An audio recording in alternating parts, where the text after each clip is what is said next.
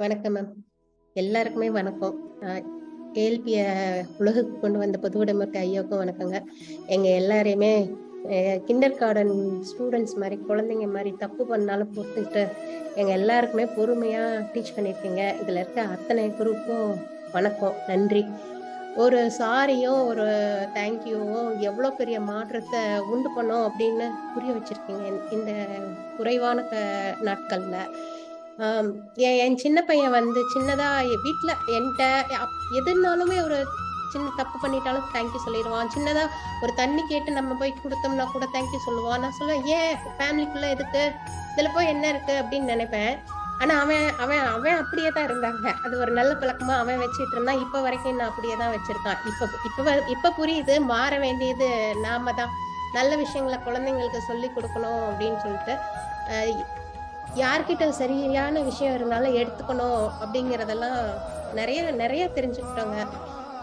இது உண்மையாலுமே ஒரு அச்சய பாத்திரம் தாங்க.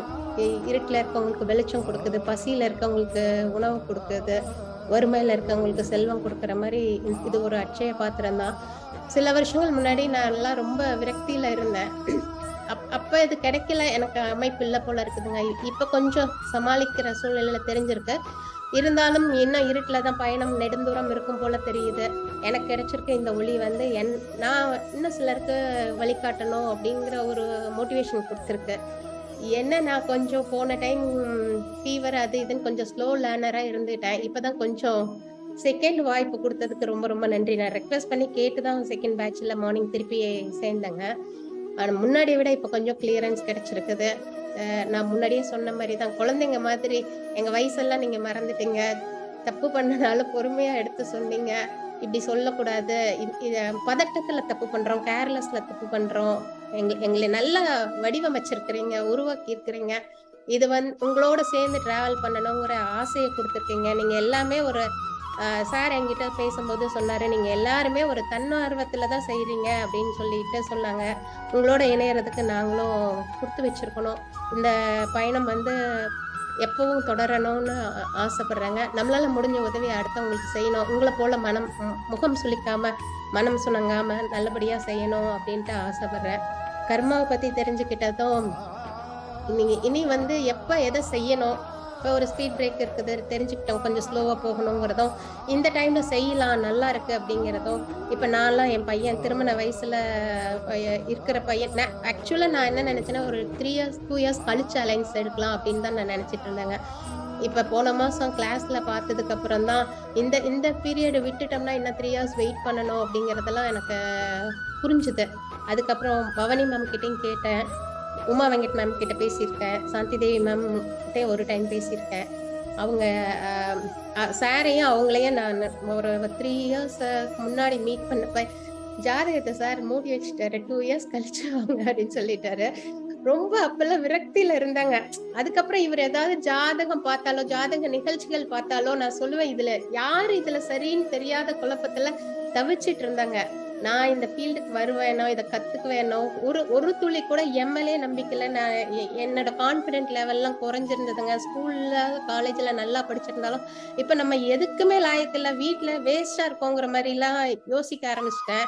இப்ப என்னாலே முடியுது. எனக்கு கிடைக்கிற ஃப்ரீ டைம் எல்லாம் வீட்டு வேலை முடிச்சுட்டு எனக்கு இனி இன்னும் நிறைய கத்துக்கணும் கத்துக்கணும்னு சொல்லிட்டு இதையவே என்கிட்ட இருக்கிற ஒரு பத்து ஜாதகத்தை திருப்பி திருப்பி போட்டு பார்க்கறது உங்க வீடியோஸ் பார்க்குறது என்னைய நான் இன்னும் கொஞ்சம் மேம்படுத்திக்கிறதுக்கு என்னெல்லாம் பண்ணணுமோ அதுதான்.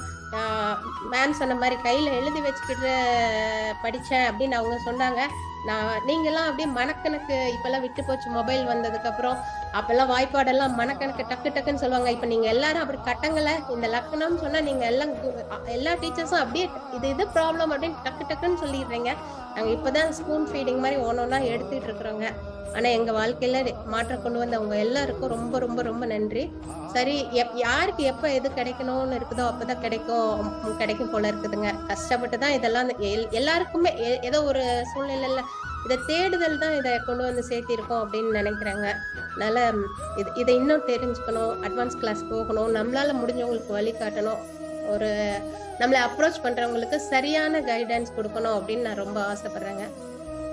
எத்- நான் அடிக்கடி ச- நான் நினைச்சுக்கிறது சஷ்டி கவசம் நான் படிப்பேன்.